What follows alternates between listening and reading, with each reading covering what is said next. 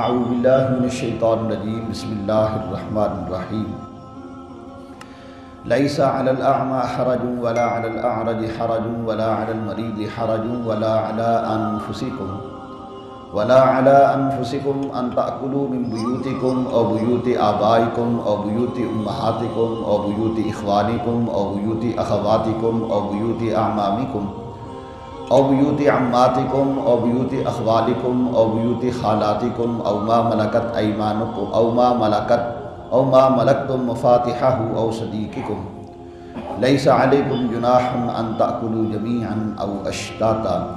आमन तो बिल्लाहि, सदक़ल्लाहु सुर नूर की आयत नंबर इकसठ का एक हिस्सा तिलावत किया गया। इस आयत मुबारक का शान नजूल ये है कि चूँकि इन आयात मुबारक में रहन सहन के हकूक़ और ज़िम्मेदारियाँ बयान की जा रही हैं, सबसे पहले ये बयान किया गया कि जब बच्चे जवान हो जाएँ तो वो घरों में इजाज़त लेकर आएँ और फिर ये बयान किया गया कि वो ख़वातीन जो नहायती बुढ़ापे की उम्र को पहुँच जाएँ, उनके लिए अहकाम में कुछ तखफीफ है। और अब ये बयान किया जा रहा है कि वो सहाबा कराम रिजवान अजमाइन जो किसी माजूरी की बिना पे जंग में नहीं जा सकते थे, उन्हें घरों में छोड़ दिया जाता था। अब वो जब घरों में रहते तो मिसाल के तौर पर अगर कोई चचा के अपने घर रह रहा है, मामू के घर रह रहा है, खाला के घर रह रहा है, अपनी बेटी के घर रह रहा है तो वहाँ खाने पीने में वो हर्ज महसूस करते थे कि हम इनके घर रहेंगे, हो सकता है इनके बोझ ना महसूस हो तो क्या हमारा यहाँ रहना दुरुस्त है कि नहीं है? जिस तरह हमारे यहाँ बेटी के घर जाना और वहाँ खाना पीना मायूब समझा जाता है। हालाँकि शरी तौर पर ऐसा नहीं है। जिस तरह बाप का हक बेटों के ऊपर है, इस तरह बेटियों के ऊपर भी है। बेटे अगर बेटों की ज़िम्मेदारी में ये शामिल है कि अपने बाप की हकूक़, अपने माँ के हकूक़ पूरे करें तो बेटियों की ज़िम्मे भी इस तरह लाजम है। लेकिन सिर्फ़ बेटियों के लिए फ़र्क ये है कि बेटियाँ अपने ससुराल, अपने खामद के माल से खर्च ना करें। अपने माल से अपने माँ बाप के ऊपर खर्च कर सकती हैं और माँ बाप को भी उनके माल से इस्तीफ़ादा करना जायज़ है, फ़ायदा हासिल कर सकता है। शरी तौर पर कोई ममानियत नहीं है, लेकिन कुछ नाजुक मिजाज लोग होते हैं, इस चीज़ को अच्छा नहीं समझते। बेटियों के घर खाना या बहनों के घर खाना या फूफियों के घर खाना अच्छा नहीं समझते, मुनासिब नहीं समझते। तो कुरान पाक ने वो बयान किया कि अगर उनकी खुश दिली है इसमें, वो अपनी खुश दिली से तुम्हें खिलाना पिलाना चाहते हैं तो इस खाने पीने में कोई हर्ज नहीं। यहाँ तक कि हमारे यहाँ तो लोगों के अंदर बुगल, हसद, बुखल ज़्यादा आ गया।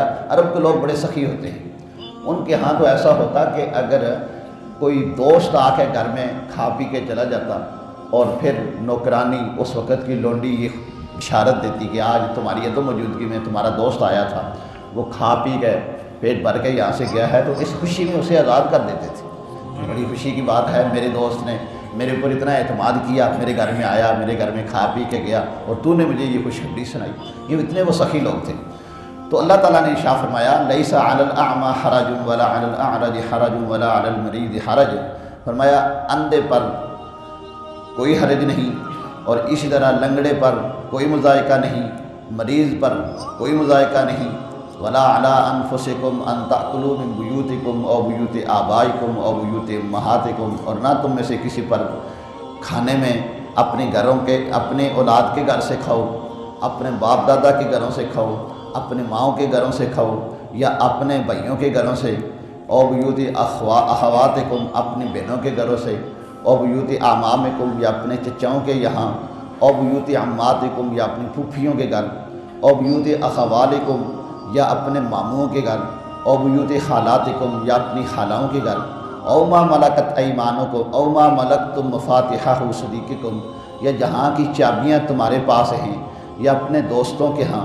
लईसा अलैकुम जुनाहन अनताकुलू जमी अन अव तुम पे कोई हरज नहीं है कि तुम मिलकर खाओ या अलग अलग खाओ। यानी इनके घरों में तुम्हारा खाना मना नहीं है।